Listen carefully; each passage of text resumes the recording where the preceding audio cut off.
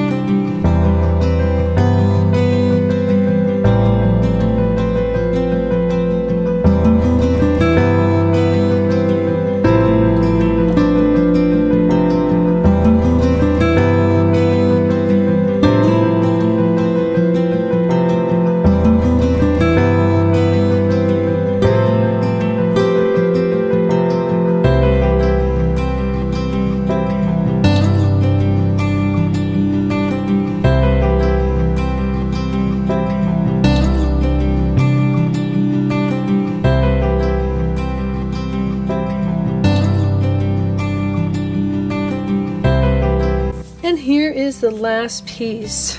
While you're watching this, we're on vacation. So I want to thank you to the say thank you to the people who are actually staying at our place, taking care of the animals. I appreciate that. The link is below to get to the store. My email is also below if you have any questions.